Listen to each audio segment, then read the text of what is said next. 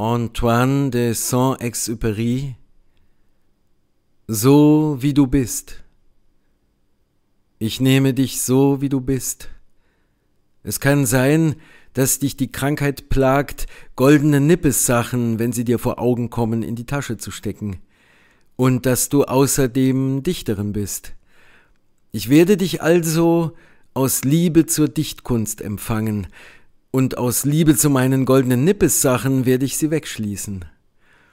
Aber es kann sein, dass du ganz einfach meine Freundin bist. Ich werde dich also aus Liebe zu dir empfangen, so wie du bist. Wenn du trinkst, werde ich nicht von dir verlangen, dass du tanzen sollst. Wenn dir dieser oder jener verhasst ist, werde ich sie dir nicht als Tischgenossen aufnötigen. Wenn du der Speise bedarfst, werde ich dich bedienen. Ich werde dich nicht zergliedern, um dich kennenzulernen. Du bist weder diese noch jene Tat noch deren Summe, weder dieses oder jenes Wort noch deren Summe.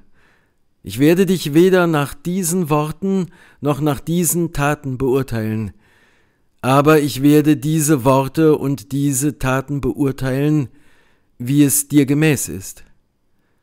Ich werde als Gegengabe verlangen, dass du mir Gehör schenkst. Ich habe mit der Freundin nichts zu schaffen, die mich nicht kennt und ständig Erklärungen begehrt. Ich habe nicht die Fähigkeit, mich im schwachen Wind der Worte mitzuteilen. Ich bin Berg.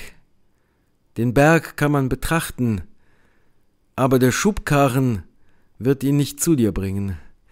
Wie sollte ich das je erklären, was nicht zuvor schon durch die Liebe verstanden wurde.